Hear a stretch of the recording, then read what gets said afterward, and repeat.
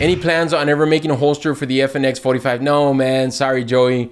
I have an FNX 45. I have the FNP 45 Tactical, the original one, where it came in the Eagle bag. I don't have a holster for it, man.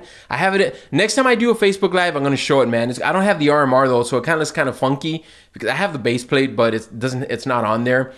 I have an RMR on on, on a on a MMP that I should take off and put it on that on that on that FNP it's an awesome gun, man. You know, it's it's in flat dark earth, and uh, it's a great gun. It's got tall suppressor sights threaded barrel, um, and uh, it came in that really cool Eagle bag. But I don't have a holster for it, man. So I hear you. I, I get it. Uh, but the thing is, is that we make holsters for concealed carry, and I don't think that a lot of people are gonna go out there and buy an FNP holster. Number one, they sell, but they don't sell a whole lot, especially for concealed carry. So that's one of the reasons that we kind of set it aside. Will we ever make one? Maybe. I don't know. We'll see. But uh, as for now, it's it's not gonna happen for a while, man. Does your torsion inside the waistband holster accommodate threaded barrels with thread protector suppressor height? Yes, it does. Yes.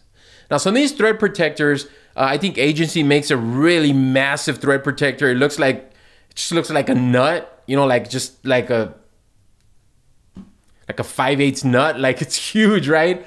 So, you know, call us, man. Uh, shoot us an email or just email Z again at tech, T-E-C-H at bravoconcealment.com. And he'll kind of give you an idea of the diameter of the threaded barrel opening right there. And he'll let you know if the thread protector is going to fit or not. But standard thread protectors, yes, man, that shouldn't be an issue at all.